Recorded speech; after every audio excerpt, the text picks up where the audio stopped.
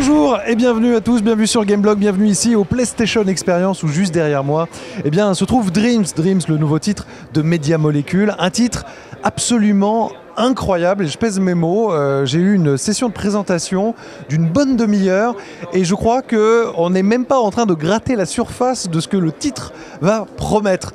Tout d'abord, le niveau de la création. Euh, la création, elle semble quasi illimitée, avec euh, des menus extrêmement intuitifs dans lesquels on va pouvoir choisir euh, de suivre par exemple des personnes, d'autres joueurs, des créateurs, qui ont eux-mêmes eh bien, pu donner vie à des éléments, des personnages, des scènes déjà créées, qui vont pouvoir les avoir améliorés, transformés, transfigurés. Et puis, regardez, avec les PS Move, mais c'est pas obligé, hein, on peut utiliser aussi le, le, le DualShock, on va pouvoir vraiment comme un peintre modeler comme de la, terre glaise, comme du coton, comme des textures, des couleurs, des formes, de manière totalement illimitée. Ce que les créateurs m'expliquaient, c'est que contrairement à d'autres jeux dans lesquels eh on a aussi euh, euh, des menus de création, de personnages ou d'objets, en fait, là, rien n'est pré-créé. Il n'y a pas de forme imaginée, hormis les formes simples, des carrés, des ronds, des cercles, des ovales.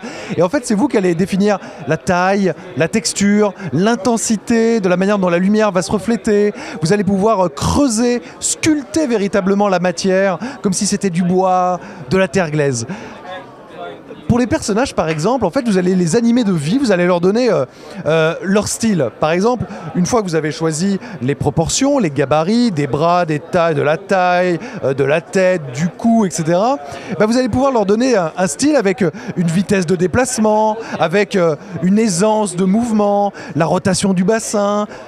Mais il y a tellement d'options que ça paraît euh, quasi illimité. Et regardez un petit peu euh, les, créations qui ont pu euh, déjà être faites, elles ont des styles radicalement différents. On a pu voir des pièces comme si elles étaient tirées de, de peintres impressionnistes, ou bien des univers beaucoup plus science-fiction, avec des robots baignés dans des couleurs beaucoup plus sombres. À vous aux créateurs de donner vie à, des mondes totalement différents. Leur point commun, c'est la lumière. Puisqu'en fait, pour passer d'un monde à l'autre, eh il faut toujours chercher des zones lumineuses, des portes qui vont s'ouvrir, s'ouvrir, euh, des tuyaux dans lesquels on va pouvoir tomber, et qui vont ainsi lier les différents mondes il y a un outil donc de création visuelle, il y a un outil de création musicale. Là, on n'a pas pu nous le montrer là, mais apparemment, véritablement, on pourra aussi totalement imaginer sa propre musique.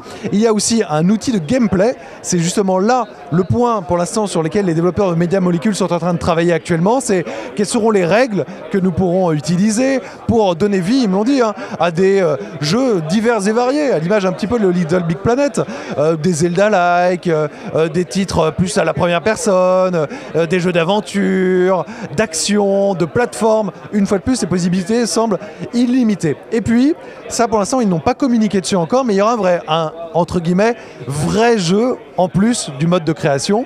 Apparemment un jeu euh, d'aventure avec des petits personnages. Mais ça, ils en parleront plus en 2016, qui devrait, à un moment dans l'année, être d'ailleurs la date de sortie. C'est une exclusivité PS4, vraiment à ce PlayStation Experience, on a vu beaucoup de jeux indés. On a vu finalement pas mal de jeux différents. Mais alors celui-là, c'est l'empereur de la différence. C'est la liberté absolue de créer franchement, je, ne sais pas où ça va aller. c'est, encore assez nébuleux, mais ils tiennent vraiment quelque chose de totalement unique. Et moi, j'ai vraiment envie de, suivre un petit peu ce Dreams, jeu à nul autre pareil. Voilà. Allez, on se donne rendez-vous euh, très vite sur Gameblog pour d'autres impressions ici au PlayStation Experience. Mais alors, moi, je vais retourner regarder un peu Dreams parce que définitivement, c'est une sorte de rêve éveillé.